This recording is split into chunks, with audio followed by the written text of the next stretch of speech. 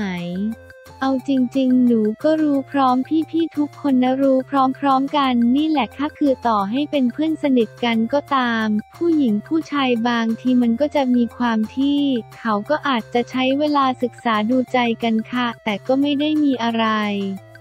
ก็ยังคุยกันอยู่เรื่อยๆ เลยยิ้มมีแซวใหม่ว่าแฟนน่ารักนะ ตอนนี้ยังไม่ได้แซวแต่เริ่มคิดแล้วว่าจะไปแซวดีไหม ยิ้ม คือเราไม่ได้ถามอะไรเขาเลยจริง ๆ เขาออกมาหนูว่าเขาก็คงใช้เวลาประมาณหนึ่ง เป็นทามมิ่งที่เขาตัดสินใจเปิดให้ทุกคนได้รับรู้ก็คิดว่าอยากให้ทางฝั่งเขาออกมาพูดเองดีกว่า หนูไปพูดแทนเขาก็จะกระจี้ ยิ้ม แต่พอเปิดตัวมาหลายคนก็อ้าว แล้วเราล่ะ หัวเราะ เป็นเพื่อนกันข้าเหมือนที่พูดมาหลายหลายครั้งเลยข้าหนูว่าด้วยการที่เราทำงานด้วยกันมาหลายหลายงานที่มันเป็นภาพคู่จิ้นมาด้วยจริง ๆ ก็ดีใจแล้วก็ขอโทษทุกคนด้วยบางคนอาจจะจิ้นเราสองคนก็เป็นเพื่อนที่สนิทกันมากๆแล้ว เราก็ยินดีกับเขาในทางเลือกที่เขาแฮปปี้อยู่ในตอนนี้ เรียกว่าดับฝันคู่จิ้น หัวเราะ จะว่ายังไงดีก็ขอโทษค่ะ ยกมือไหว้ อย่าจิ้นกันเลยกับนายอหมายถึงว่าถ้าจิ้นด้วยงานอนุโอเค อย่างเพลงแปะหัวใจ ถ้าจิ้นแล้วไปปั่นวิวอะไรแบบนี้ไม่ติดค่ะ ชีวิตจริงเป็นแค่เพื่อน ใช่เขาก็เปิดตัวแล้วอะยิ้มเจ้านาย เปิดตัวไปแล้วแล้วเราจะเปิดตัวเมื่อไหร่ หนู 22 เองแค่ยังไม่อยากคิดถึงเรื่องการจริงจังกับใครเขาเท่าไหร่ อยากชิวๆอยากดูไปก่อนทำงานเต็มที่ค่ะ แต่มีข่าวว่าตอนนี้เราสนิทสนมกับบิวกิน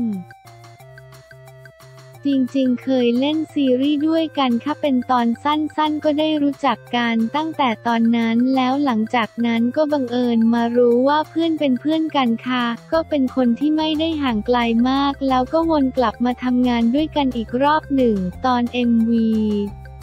ชอบตัวเองตอนอยู่กับเธอเขาก็มาชวนเรา เพราะเขารู้สึกว่าอยากได้นางเอกที่เขาเคยทำงานด้วยกันมาแล้ว ก็เลยชวนเรามาเล่นค่ะ คนก็จับตาว่าจะมีอะไรมากกว่าเพื่อนไหม จับตา ทำท่าจับตา ไม่มีอะไรมากกว่าเพื่อนทั้งนั้นค่ะ จริง ๆ หนูดีใจนะหมายถึงว่าถ้าคนจิ้นจากงานที่เราทำแปลว่าเราเล่นได้ดีใช่ไหมที่ทำให้คนเขาจิ้น คือไม่ใช่แค่บิลกิ้นนะพี่สกายพี่พีทก็จะมีหลายคนที่แบบเอ้ยคบกันหรือเปล่า อะไรกันหรือเปล่า ก็พูดตรงนี้เลยแล้วกัน หัวเราะว่าเป็นพี่ชายเป็นเพื่อนกันเราสบายใจกับการอยู่กับเพื่อนผู้ชายอยู่แล้ว มันเลยแบบว่าไม่แปลก ที่เราอาจจะดูสนิทสนมเป็นพิเศษ เป็นแบบนี้กับทุกคน ในช้อยส์ที่พูดมาคือเป็นเพื่อนหมดเลยใช่ไหม เป็นเพื่อนหมดเลยเวลาทำงานกับใครก็โดนจับตามองตลอด เรามีวิธีการวางตัวยังไง ต่อไปหนูทำงานหนูเดินไปอย่างนี้ทำท่าจับตาจริง ๆด้วยความที่หนูเป็นคนแมนแมนเมื่อก่อนเราไม่รู้ตัวด้วยซ้ำเพราะความที่เราห้าวห้าวๆเราก็เป็นเด็กธรรมดามีเพื่อนผู้ชายมาก่อน แน่นอนพอเราเข้ามาสู่โลกของการทำงานแล้ว มันก็ยังมีเรื่องของเพศและความเหมาะสมอยู่แหละ ก็โชคดีที่มีคนรอบข้างที่เขาหวังดีคอยเตือนเรา เราก็อ๋อโอเค บางทีเดี๋ยวมันดูไม่ดีนะ หรือมันดูไม่เหมาะสมนะ แต่หนูไม่ได้คิดอะไรเลยค่ะแต่ดีใจนะคะที่หลายคนบอกว่าหนูเคมีสาธารณะ ก็อยากทำงานนะคะชอบทำงานมากค่ะ สเตตัสตอนนี้เรียกว่าอะไร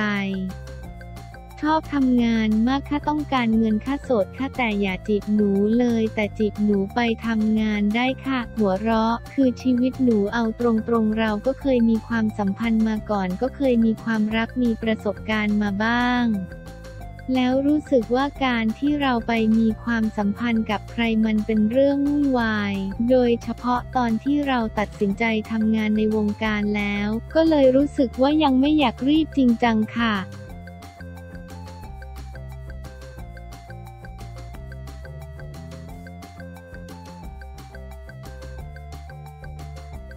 ไม่ตรงปกแต่ใจสู้ หนุ่มคุยสาวผ่านแอปนัดเจอดันไม่เป็นตามหวังบทสรุปสุดพีคหนุ่มจีนใจสู้นัดเจอสาวผ่านแอปแต่ตัวจริงดันไม่ตรงปกอย่างแรง แต่หาแคร์ไม่เดินหน้ารุกต่อสานสัมพันธ์ขั้นต่อไปกลายเป็นบทสรุปสุดพีค สำนักข่าวต่างประเทศ Mirror Media ได้รายงานเรื่องราว ซึ่งกำลังเป็นที่ฮือฮาบนโซเชียลมีเดียของจีน เมื่อชายคนหนึ่งตัดสินใจนัดเจอกับสาวที่ผ่านโลกออนไลน์ โดยไม่คิดว่าตัวจริงของเธอจะทำให้เขาช็อกสุดชีวิตตอนได้เห็นหน้าจริงแบบไม่ผ่านแอบชายคนนี้คุยอยู่กับสาวสวยคนหนึ่งมาสักพักแล้ว แต่ก็ยังไม่ได้เจอหน้ากันสักทีกระทั่งไม่นานมานี้ในที่สุดเขาก็รวบรวมความกล้า ขอนัดเจอเธอตอนที่ตัวเองเดินทางไปที่เมืองกวางโจวประเทศจีน ซึ่งฝ่ายหญิงก็ยินดีมาเจอเขาก่อนเวลานัดเธอยังส่งรูปเซลฟี่มาให้ดู เผยให้เห็นหญิงสาวหน้าสวยหุ่นมีน้ำมีนวล ซึ่งเธอก็บอกเขาว่าตัวเองค่อนข้างอวบแต่ฝ่ายชายก็ยืนยันว่าเท่าที่เห็นว่าเธอไม่อ้วนสักหน่อย และยังชมน่ารักดีด้วยจนเมื่อถึงเวลาที่ได้เจอกันหญิงสาวก็มายืนรอชายหนุ่มในจุดนัดพบ พร้อมใส่เดรสสีดำชุดเดียวกับที่เห็นในรูปตอนที่เขาได้เจอหน้าจริงๆ ก็ต้องช็อกสุดๆ เพราะตัวจริงไม่ตรงปกสักนิดหลายคนอาจเดาไปว่าสุดท้ายคงต้องแยกย้ายกัน แต่ชายหนุ่มคนนี้กลับทำให้ชาวเน็ตตกตะลึงเพราะสุดท้ายเขาก็ไปต่อกับเธอและลงเอยกันในคืนนั้นที่มา Mirror Media